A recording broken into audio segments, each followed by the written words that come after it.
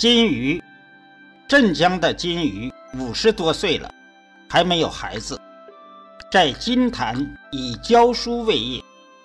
他的夫人出钱买了邻家的女儿给他做妾，希望能生个儿子。金鱼回家时，夫人在房中摆上酒，让邻女相陪，把买妾的事告诉了。金鱼听到后，立刻面红耳赤。夫人还以为是自己在，丈夫不好意思，就出去把门反锁上。金鱼翻窗出来，对夫人说：“你虽然是好意，但这个女孩小的时候，我还抱过她，一直希望她能嫁个好人家。我现在又老，身体又不好。”不能委屈了他，把他送了回去。第二年，他的夫人生了一个儿子，就是后来的文熙公，十七岁中举人，一直做到宰相。马蜂翁，马蜂翁中年时还没有儿子，娶了一个妾，非常漂亮。可是每次梳头时，见到他过来。都要避开。马蜂翁问他为什么，他说：“我父亲在任职期间去世，为了筹钱把尸骨运回家乡，只好把我卖。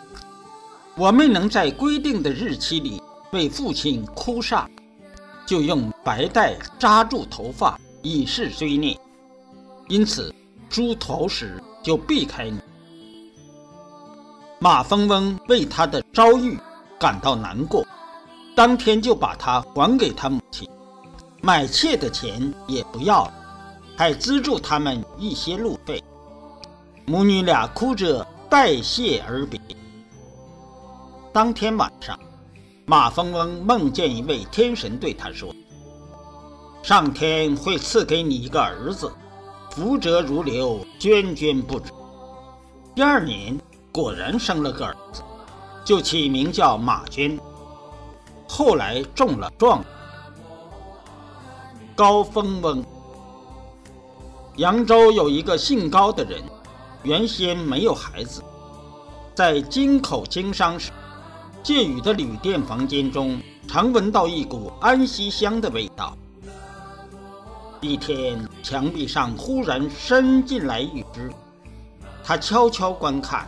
发现隔壁有一位独身的少女，去向店主打听，原来正是店主的女儿，就问为什么还没有出嫁。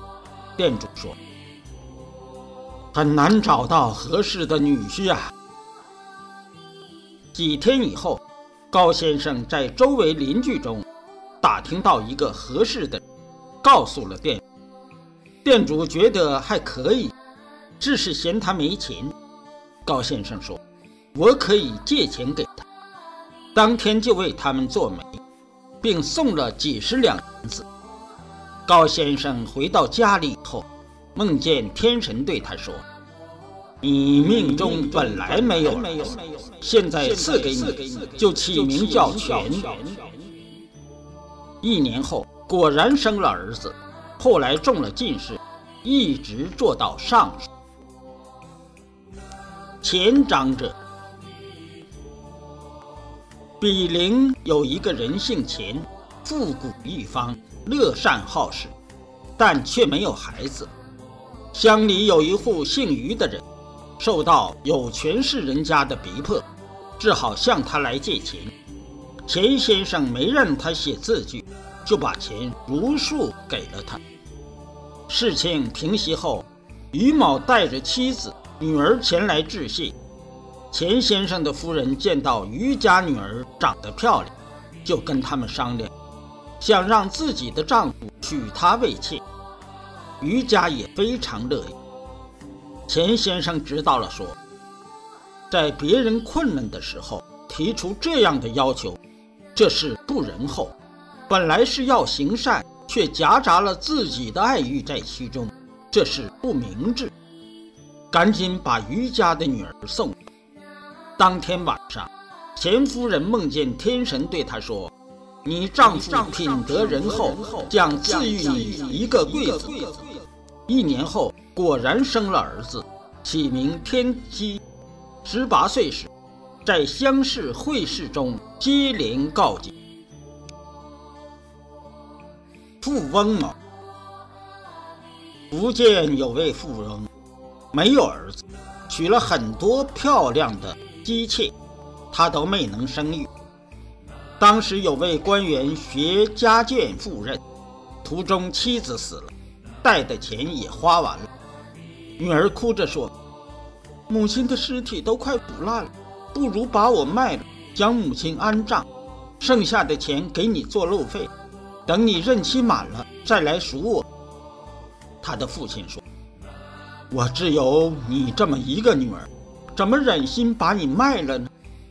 女儿说：“除此以外，再没有别的办法。”于是哭着把她通过介绍人卖给了这位富翁，得三百贯钱。富翁并不清楚其中的缘故，他见这个女子端庄娴静，举止不同常人，虽然用白带扎着头发，却并未流露出伤心的神情。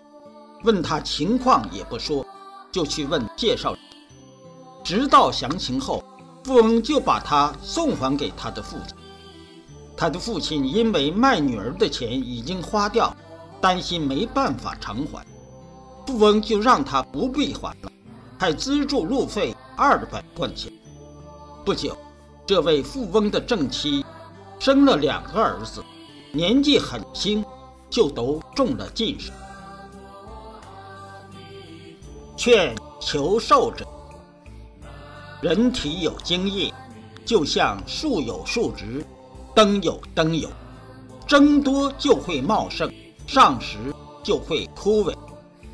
解脱要门说，修行人若几十年都没有动过欲念，精髓就会凝结，逐渐成为舍利。道家的书上说，若能不动欲念，人体的三焦内就会产生精气，使各处经。脉得到滋养。苏东坡说：“损害身体的事情虽然不少，但好色者必定找死。无奈世人在淫欲关头，对于它的危害到老都不能醒。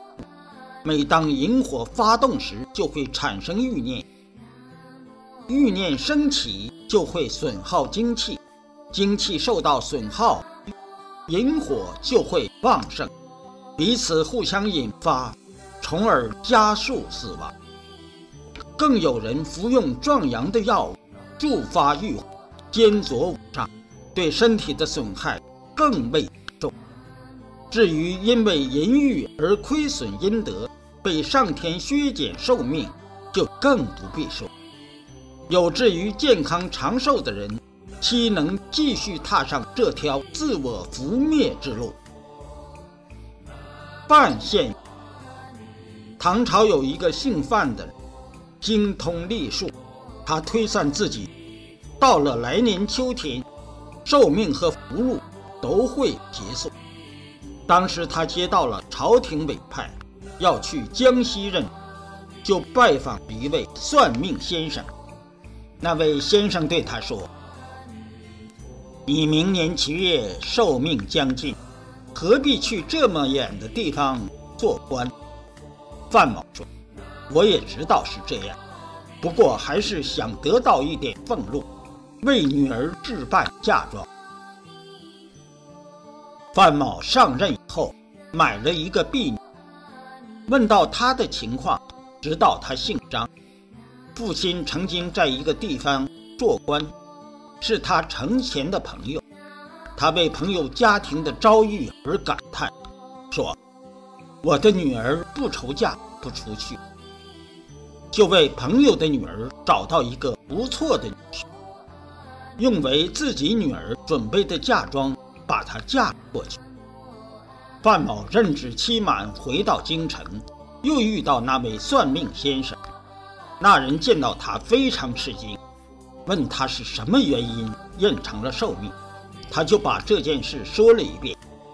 那位先生感叹地说：“你现在的福寿难以限量啊。”后来范某做好了几任官才去世。王某，昆山有一个秀才的儿子王某，年轻时与一位邻居家的女子私下相好，两人往来频繁。他父亲多次责打，却还是改不了。一天，他因为遇事过度，胸部受了内伤，得了吐血病，怎么治都不见效。结婚刚三年就死。他的妻子很伤心，几年后也死去。王婶二公，南宋开禧初年，简州的进士王行安，身体虽然虚弱，然而自身严谨，清心寡欲。他的表弟沈某身体强壮，肆意于寻花问柳。王行安屡次规劝他。可他还是不听。一天，沈某从外面回来，看到自己的妻子与别的男人在一起苟合，想取利器击杀二人，手臂却忽然抬不起来，长叹一声死去。当时只有三十一岁。丁卯冬天，王兴安得了病，请道士设战祈福消灾。道士向天神禀咒，俯伏在地上很长时间，起身说：“查您的寿命原来只有五十岁，因为两次不与别的女人发生私情，所以又延长了三十六年。后来果然活到八十六岁。”劝遇难者，在动荡不安。颠沛流离的年代，能保全一个妇女的贞洁，功德必然加倍；损害一个妇女的贞洁，罪过也会加倍。一得一失有天渊之别，必须严格自律，勉力行善。方一清，明朝嘉靖末年，漳州的秀才汪一清在。动乱中被反贼抓住。当他看到反贼绑来的一位妇女正是某位学友的妻子时，就认成自己的妹妹，要求把她赎出。得到允许，反贼把他们两个关押在一间房子里。经过一个多月，汪一清没有起过邪念。后来，这位妇女被赎回。他的学友哭着向他礼拜，表示感谢。不久之后，汪一清就中了进士。张文启，明朝末年，福建的张文启与周某在山中躲避贼寇，来到一个隐蔽的地方，见已经有一个少女躲在里面。少女见到他们二人进来，非常惊慌。想躲到别处去，张文启说：“你现在出去，肯定会遇到贼寇。我们俩都是老实人，绝不会侵犯你。”半夜里，周某想占有这个少女，张文启极力阻止，才没有发生。天亮以后，张文启担心周某再起歹意，就陪少女一起出山。等贼寇退走后。立即找到他的家人来接他回家。张文启后来娶了一位姓黄人家的女，嫁妆很丰厚。见到自己的妻子时，才知道正是在山中一起避难的少女。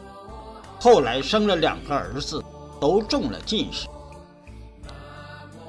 磁州周子，清朝康熙癸卯。磁州发大水，有人驾着船救起一名少女，想奸污她。这位女子只好又跳入水中，遇到一棵树才得以生还。一年后，这位女子嫁到另一个村子，成婚的第二天，发现她的公公正是当年想强奸自己的人，心中十分悲愤，哭着告诉送嫁的人，就上吊死了。劝一世，淫欲冲动的念头，别人难以克除，医生却很容易打消。为什么呢？人们想到生病的时候，欲念自然变淡，而医生每天所见的都是病人，这是其一。别人因为不懂得养生。所以才重欲伤身，而医生却精通调摄保养之道，这是其二。男女的身体本来是一个皮囊，里面装的都是屎尿脓血，只因为被一层皮肤包着，所以瞒尽天下英雄。而医生看病，首先要找到病源。无异于洞见人体的五脏六腑，这是其三，好自为之吧。聂崇智，宋朝嘉佑年间，黄敬国在益州担任判官，有一次被调到民间，民间的官员问他：“你在益州做官，当地发生了一件美事。”你知道吗？拿出一个记录簿给他看，原来是医生聂崇智在某年某月某日到华亭的杨家行医，拒绝与姓李的女子发生私情。上帝下令给他增加三十六年的寿命，让他三世子孙都能考取功名。后来都一一应验。陈医师，余干的陈医师曾经救活一个家境贫寒的读书人，这个读书人很感激他。有一天傍晚，陈医师到这家借宿，恰好读书人出门了。读书人的妻子想来陪他过夜，秦医师予以拒绝。他说：“这是我婆婆的意思。”陈医师说：“不可，夫人停留很久，不愿离去。”陈医师说：“不可，不可。”后来几乎不能自持，就拿出笔写道：“不可二字甚难。”天亮后，陈医师告辞离去。后来他的儿子参加科举考试，考官想放弃他的文章。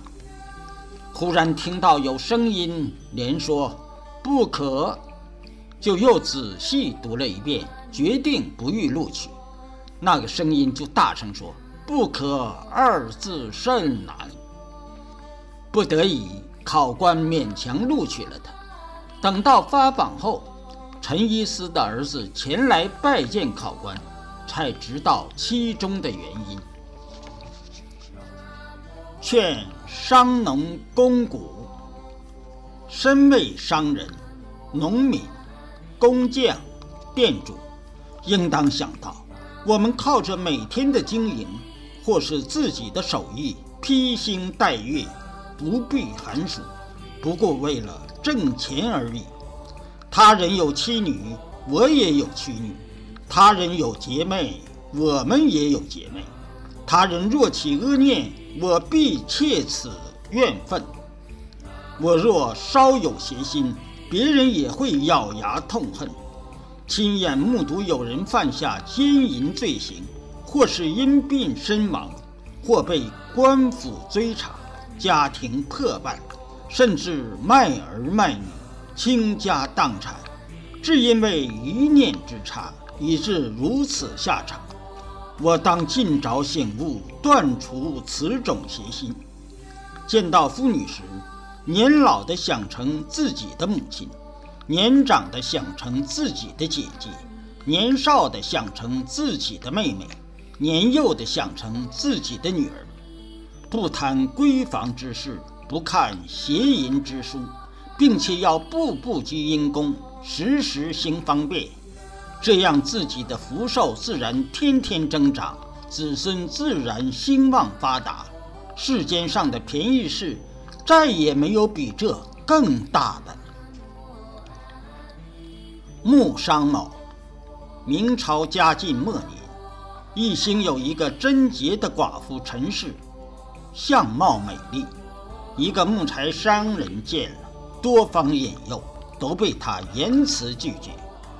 这个商人就在网上把木材扔到他家院子里，然后到官府诬告他偷盗，又贿赂、差役、欺辱他，想以此迫使他屈从。陈氏日夜向画像中身骑黑虎的玄坛元帅赵公明祷告。一天梦到神说：“我已经命令黑虎去惩罚他了。”没过几天，木材商人进山时，有一只黑虎跳出，越过几个人，把他给吃了。王秦正，滁州有一个人叫王勤正，和一个妇女私通，两人约好一起私奔，又担心会被她丈夫发现。不久，这个妇女害死了她的丈夫。王勤正很害怕，就跑到江山县，以为可以逃脱了。饿了就到一家饭馆吃饭，店里的人给他准备了两份食物。王勤正感到很奇怪，就向店里的人询问。店里的人说：“刚才有一个披着头发的人跟着你，不是两个人吗？”王勤正。知道是死去的怨鬼，就到郡里自首认罪伏法。麻春二人，麻春有甲乙二人，两家住得不远。甲迷恋上一个寡妇，他的妻子对他非常怨恨，乙让自己的妻子去挑唆，趁机与他私通。时间一长，乙的妻子也非常不满。一天晚上，甲在寡妇家渴了，急着回家喝水。到了家门口，忽然听到乙和自己妻子说话的声音，心中大怒，就到寡妇家拿了一把斧子，准备把二人砍死。经过乙家门前时，想先奸淫乙的妻子来报复。乙的妻子怨恨丈夫不回家。也就顺从了甲，与他苟合。当时乙在甲家，估计甲快要回来了，就想杀了甲，长期占有他的妻子，拿了一把斧子守在门前。忽然听到自己家中有男人的声音，急忙回家敲门。甲拿着斧子跃出，乙拿着斧子砍入，双方在夜色里大声叫喊。邻居们拿着火把全来劝阻。你看见奸夫是甲，非常吃惊，问甲说：“你从哪里拿的斧子？”甲说：“我本想砍掉你这个奸夫的头，但因为我也侮辱了你的妻子，姑且饶了你的性命。”乙说：“我什么时候奸淫过你的妻子？”甲指着乙拿的斧子说。这不就是我家厨房里那把缺柄的斧子吗？乙一时说不出话来，大家都说：“哼，这是上天的报应啊！”一哄而散。葛阿锦，康熙己酉年，昆山有一个人叫葛阿锦，与一个姓邱的人的妻子私通。两人时常相会。一天，葛阿锦对他说：“我干脆把你丈夫杀了，你觉得怎么样？”女人听了很生气，阻止他这么干。但当天晚上，葛阿锦就拿着刀到邱氏家中，他的妻子也没有察觉。葛阿吉趁着天黑用刀砍去，恰好姓邱的人上厕所去了，结果误伤了他的女儿。姓邱的人就告到官府，最后葛阿举被斩首示众。南京龚某，康熙辛二辛亥年冬天，有一个南京来的工匠租住在昆山，与一个卖面人的妻子私通。她丈夫发觉后，就把她搬到另外一个村子。没过多久，这个工匠也搬到那里。一天晚上，卖面人从外面回来。听到工匠和自己妻子说话的声音，就悄悄把门打开，在黑暗中用切面的刀向工匠砍去，正好砍中他的头部，把他连着被子捆在一起扔在床下。卖面人以为工匠已经死了，就去敲开邻居家的门，取火照明。回来后，把他的妻子也一并杀掉。可是那个工匠却不见。第二天，有人向官府报告说，某处芦苇中有一个死人，血流遍体，没有衣服，只裹着一条湿棉被，冻在了一起。派人前去查看，正是那个工匠。死的地方与村庄相距一里多远，中间隔着一条大河，看来是裹着棉被渡河时。冰水涌入受伤的头部，而致死。张府，太昌的张府，平时就把奸淫抢劫的恶行，良家妇女有时也被他奸污。后来，他投靠了郡城一个高官家，更加横行霸道。康熙壬戊年秋天。受害者列出他做过的恶事，向提督控告他。官府经过审讯，查获犯罪事实，将其严刑拷打，带着枷锁在吕门示众，下令直到死了以后才把他放开。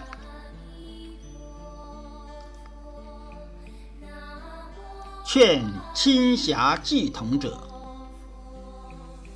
妓女对社会造成的毒害真是太大了，使人精气枯竭，家财损耗，夫妻离异。朴实的人欲之亲近就会变得淫荡，聪明的人对之爱恋就会变得痴迷。